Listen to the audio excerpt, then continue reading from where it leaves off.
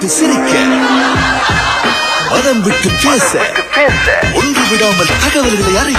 கேளுங்கள் கேளுங்கள். சூரிய ராகங்கள். வணக்கம் மக்களே வணக்கம் மனோஜ்.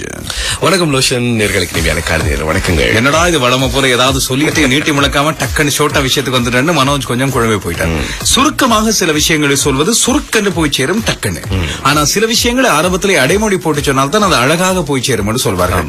பொதுவா கவனிச்சு பாருங்க ஒரு துப்பாக்கியில் தோட்டா உள்ளே அது கொலைகார கருவியாக இருந்தாலும் துப்பாக்கியில் தோட்டா உள்ளே போடும்போது அந்த தோட்டாக்கு ஒரு சின்ன கவர் ஒன்று போட்டு தான் போடுவார்கள் காரணம் அதன் வேகத்தை அதிகரிக்கும் அந்த உதைப்பின் அடிப்படையில் முன்னுக்கு அந்த இலக்கையை நோக்கி தோட்டா பயணிக்கும் ஆனால் அம்பு வில்லு இந்த விஷயத்தை வைத்து பாருங்கள். வில்லிலேயே அம்பை வைத்து நாணயற்றி விடும்போது பின்னுக்கு அம்பை நன்றாக இழுத்து விட்டால் தான் அந்த அம்பு முன்னுக்கு போகும். அம்புக்கு எந்த விதமான கவரும் கிடையாது. அந்த அம்பு நேரடியாக வில்லிலே பொருத்தப்பட்டு செல்வது.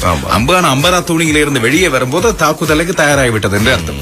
அது போலத்தான் எங்களது புத்தி கூர்மையும் எங்களது செயற்பாடுகளுக்கான தயார்படுத்தல் தன்மையும் என்னவென்று சொன்னால் ஆரம்பத்திலே திட்டமிட்டு விட்டு இறங்கி விட்டால் அதை நோக்கி செயற்படுவதாக இருக்க வேண்டும். உங்க வாழ்க்கையும் அவ்வாறு இருக்கட்டும். இப்படி எல்லாம் சொல்லிக் கொண்டிருக்கும் போது ஒரு முக்கியமான விஷயம் ஞாபகம் வந்தது. சொல்லுங்க. ஸ்கூல் காலத்துல ஒரு நாள் எனக்கு இப்ப இப்ப இருக்க நம்ம குழந்தைகள் எல்லாம் பார்க்கும்போது எங்களுக்கு தெரிந்த சின்ன குழந்தைகள் எல்லாம் பார்க்கும்போது பாடசாலை செல்கிற மாணவர்களை பார்க்கும்போது எங்களுக்கு விளங்குதானே? எவ்வளவு பிரஷர் அவங்களுக்கு.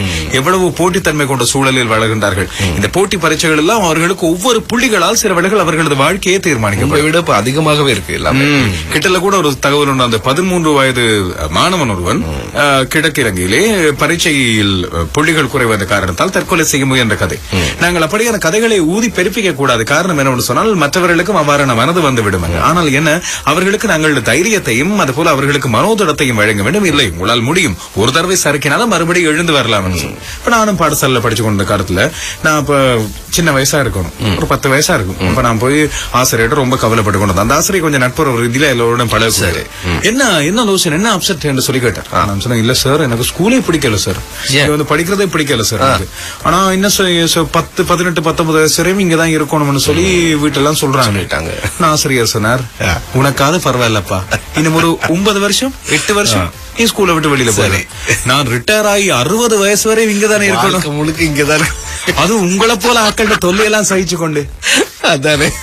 இப்ப இப்படிதான் வாழ்க்கையும் அப்படிதான் ஒவ்வொருவருக்கும் தங்களுக்கு இருக்கிற பிரச்சனைகளை யோசிக்கும் போது மண்டை குழம்பி இருப்பார்கள். ஆனா மத்தவங்களுக்கு இருக்கிற பிரச்சனைகளை யோசிச்சு பார்த்தா எவ்வளவு சிக்கல். நாங்க எவ்வளவு அதாவது எப்பவும் சொல்லுவாங்க என்ன எங்களுக்கு கீழே உள்ளவங்களை பத்தி கொஞ்சம் யோசிங்கன்னு சொல்லுவாங்க. எங்களுக்கு கீழே உள்ளவங்களும் ஆயிரம் பேர் உண்டு. அவங்க பிரச்சனை எக்கச்சக்கமான பிரச்சனைகள் உண்டுன்னு சொல்லி பேசுவாங்க. எனவே எங்களுக்கு கீழே இருக்கவங்களுடைய பிரச்சனை நாங்க பார்த்தோம்னு சொன்னா எங்களுடைய பிரச்சனை எங்களுக்கு பிரச்சனையாவே தெரியாது. இது ஏன் சொல்ல வரோம்னு சொன்னா பாருங்க இலங்கையை பத்தி நாங்க கவலைப்பட்டு கொண்டிருக்கிறோம். உலகக்கிண போட்டிகள். நான்கு போட்டிகள் நான்கு புள்ளிகள். ஆனா பாருங்க தென்னாப்பிரிக்காவின் நிலையை பாருங்க நான்கு போட்டிகளில் ஒரே ஒரு புள்ளி? நேற்று பாகிஸ்தான் நான்கு போட்டிகள் மூன்று புள்ளி. அதிர்ஷ்டம் வேணும் அதிர்ஷ்டம் அதுக்கு. எங்களை விட மோசமா நிறைய பேர் இருக்காங்களே என்று யோசிக்கும் போது நாங்க கொஞ்சம் பரவாயில்ல ஆனா பாருங்க இலங்கை அணி ஆஸ்திரேலியாவுக்கு எதிராக விளையாட போறதா இந்த போட்டி. சூரிய சூப்பர் ஸ்போர்ட்ஸ் வரும் திருப்பி. ஆனா இதை கொஞ்சம் சொல்லிட்டு போறேன். நான் எங்களோட வாழ்க்கை பிரச்சனை பத்தி பேசும்போது.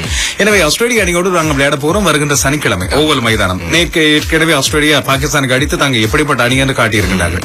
ஆனா இலங்கைக்கு அதுலயும் ஒரு நன்மை பாருங்க. நேற்றைய தினம் இலங்கை அணி பயிற்சி செய்ய ஆரம்பித்தோம் சோன்று மழை கொட்டி இருக்கிறது இலங்கை அணி உள்ளக பயிற்சி தான் மேற்கொண்டிருக்கிறது இது மழைக்கே பிடிக்கலையா விளையாடுறது? அப்ப இலங்கை அணிக்கு இப்ப நட்சத்திர வீரர் யாருன்னு கேட்டா குசல் ஜனித் பெர்ராவோ காயமடைந்த நுவான் பிரதீப்போ லசித் மாலிங்கோ அணி தலைவர் திமுத் கருணாரத்னமோ இல்ல.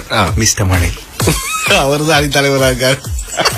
ஆனா பாத்தீங்கன்னா இப்ப வருகிற வருகிற போட்டிகள்ல அவங்க விளையாண்டாதான் இனி அடுத்தடுத்த போட்டிகளுக்கு முன்னேறி போகலாம். பாயிண்ட்ஸ் கிடைக்குதுன்னு சொல்லி சும்மா இருந்தாலும் வேலை இல்ல. ஒவ்வொரு பாயிண்ட் ஒரு புள்ளி கிடைக்கிறது என்பதற்காக நாங்கள் இறந்த பயன் கிடையாது. வெற்றி பெற வேண்டும் என்பதை தான் ஞாபகப்படுத்திக் கொண்டு. இப்ப நீங்க சொன்னது சரிதான். படிக்கிற காலத்துல இருந்து பாத்தீங்கன்னா அதுலயும் புள்ளி தேவை இதுலயும் புள்ளி தேவை. புள்ளி தான் ஒரு வெற்றிக்கும் புள்ளி தேவை தான் அதுக்கு பிறகுதான் நாம் பெரும் புள்ளியா மாறலாம் என்பதை ஞாபகப்படுத்திக் கொண்டு